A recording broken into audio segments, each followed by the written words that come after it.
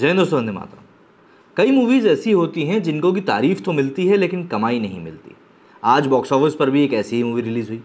भीड़ है इस मूवी का नाम और इस मूवी को कमाई के मामले में बिल्कुल किसी का भी मुँह नहीं देखना पड़ेगा। वाकई में, किसी का मुँह नहीं देखना पड़ेगा क्योंकि थिएटर्स खाली पड़े अभी तक की जो ऑक्यूपेंसी रिपोर्ट निकल कर सामने आ रही है, उसमें एक बात क्लियर है कि इस मूवी को पाँच छः परसेंट से ज़्यादा ऑक्यूपेंसी मिल नहीं रही और ये वाकई में काफ़ी बुरी स्थिति है। ऐसी कंडीशन में आ, इस मूवी की मतलब भीड़ की जितनी बातें चल रही थी जितने लोग उसके बारे में बोल रहे थे कहीं ना कहीं वो ट्रैक्शन इस मूवी को नहीं मिला वो फुटफॉल इस मूवी को नहीं मिला। वहीं इस मूवी के सामने जो दूसरी हॉलीवुड मूवी रिलीज़ हुई है जॉन विक चैप्टर फोर उसको लोग फिर भी एक अच्छी तादाद में जाकर देख रहे हैं। और उम्मीद की जा रही है कि जो अभी एक ट्रेंड चल रहा है कि भैया कोई मूवी पहले दिन उतनी अच्छी कमाई नहीं करती है उसी ट्रेंड पर चलते हुए इसकी कमाई शनिवार और रविवार को और ज़्यादा बढ़ सकती है। चलिए ज़रा बात कर लेते हैं इन दोनों ही मूवीज़ के अर्ली प्रडिक्शंस के बारे में कि कैसा कलेक्शन रह सकता है इन दोनों का पहले दिन। शुक्रवार को बॉक्स ऑफ़िस पर रिलीज़ हुई अनुभव सिन्हा की भीड़ ने बुरी तरह निराश किया है।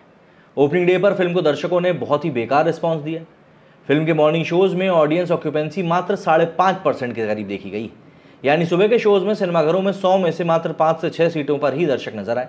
जबकि दोपहर के शोज़ में ये संख्या घटकर चार से पाँच तक पहुँच गई। जबकि दूसरी ओर Hollywood film John Wick chapter four को बड़े शहरों में मल्टीप्लेक्स ऑडियंस ने भीड़ की तुलना में बढ़िया रिस्पॉन्स दिया है। मतलब अगर हम लोग सीधे तौर पर ऑक्यूपेंसी रिपोर्ट की ही बात कर लें तो पहली बात तो ये कि इसका जो अर्ली एस्टिमेट निकल कर सामने आ रहा है ना कि भैया क्या इसका रिस्पॉन्स रहने वाला है तो ये ऑक्यूपेंसी रिकॉर्ड और रिपोर्ट ऑफ़ सेकनल की देख सकते हैं। इसमें साफ़ तौर पर शुरुआत से दिखाया गया है ऊपर देखिए, मुंबई से लेकर फिर एनसीआर, पुणे, बेंगलुरु। कहीं पर भी आपको ऑक्यूपेंसी नहीं दिखेगी। सिर्फ़ आठ परसेंट ऑक्यूपेंसी सबसे ज़्यादा जयपुर में है और इससे ज़्यादा अहमदाबाद में तेरह परसेंट। इसके अलावा हर जगह पर ऑक्यूपेंसी बिल्कुल नीलपटा सन्नाटा ही। तो ऐसे में ये मूवी के लिए बहुत ही ज़्यादा निराशाजनक है। वहीं कियानो रीव्स की जॉन विक चैप्टर फोर ने बॉक्स ऑफ़िस पर ठीक ठाक शुरुआत करी, जबकि एक दिन पहले गुरुवार को पेड प्रीव्यूज़ पर भी फ़िल्म ने अच्छा प्रदर्शन किया ऐसे में ओपनिंग डे पर हॉलीवुड की ये हाई ऑक्टेन एक्शन फ़िल्म दो करोड़ रुपए से ज़्यादा का नेट कलेक्शन कर सकती। है हालाँकि जॉन विक एक बेहद पॉपुलर फ्रेंचाइजी है। ऐसे में इस फ़िल्म को पहले दिन पाँच करोड़ के नेटमार्क से ऊपर जाना चाहिए था।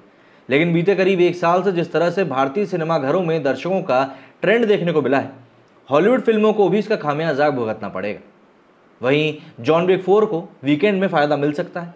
अगर शुक्रवार को शाम के शोज़ में दर्शकों की संख्या बढ़ती है तो ये फ़िल्म तीन करोड़ तक की भी कमाई कर सकती है। दूसरी ओर राजकुमार राव और भूमि पेडनेकर की फ़िल्म भीड़ का हाल बहुत बुरा है।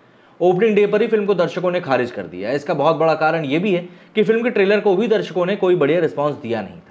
ज़ाहिर है, ऐसे में सिनेमाघर पहुंचकर लोग फ़िल्म देखें, इसकी आशंका काफ़ी कम है।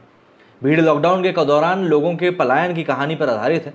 अनुभव सिन्हा ने इसे कलर पिक्चर बनाने की बजाय ब्लैक एंड व्हाइट रखा है। यकीनन कंटेंट और मुद्दे की फ़िल्म देखने वाले इस मूवी को पसंद करेंगे, लेकिन ये बात भी तय है कि ये कोई मास मूवी नहीं भीड़ के बारे में दिलचस्प बात यह है कि इसे फ़िल्म समीक्षकों ने खूब सराहा है। लेकिन जब बात कमाई की आती है तो शुक्रवार को सिनेमाघरों में इससे बेहतर स्थिति मिसेस चैटर्जी वर्सेस नॉर्वे और तू झूठी है, मक्कार की है। भीड़ ओपनिंग डे पर 50 लाख रुपये कमा ले तो बहुत बड़ी बात है। इसकी कमाई पहले दिन मात्र 20 से 30 लाख रुपये के करीब रहने वाली।